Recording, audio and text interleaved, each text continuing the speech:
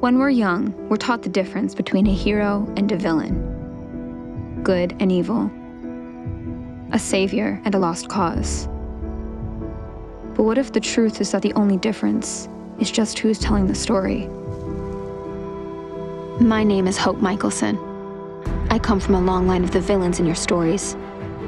I'm the daughter of a werewolf and a vampire, the granddaughter of an evil witch. They call me the Tribrid. I'm the only one of my kind. I'm born from evil, fighting every day to be good. There's no place in the world for someone like me. Except one. The Salvatore School. We teach discipline, compassion, a little magic, but mostly it's a place where we keep them safe. Know, I've just spent a lot of time with supernatural people who are never comfortable in who they were. These kids, these kids will be better. The locals think we're a school for troubled rich kids. The troubled part is true. We fall asleep in geometry and pass notes in magical history. We throw parties in the woods and crash the local high school's dances. We fall in and out of love and break each other's hearts. Like so many who came before us, we're not all good. We're not all bad, but we are all different, whether we like it or not. Any one of us could snap and become the villain of someone else's story. That's why there are rules.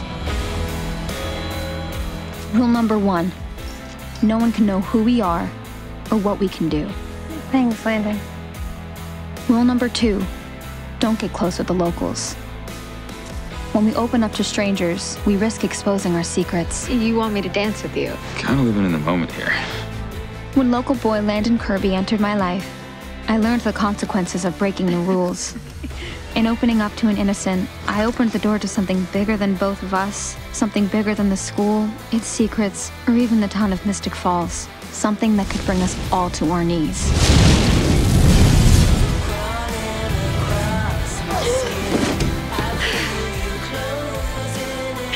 This is a story of magic, of secrets and betrayals, first loves and first heartbreaks. It's a story of friendship and family, of battling our own demons so we can face the monsters around us.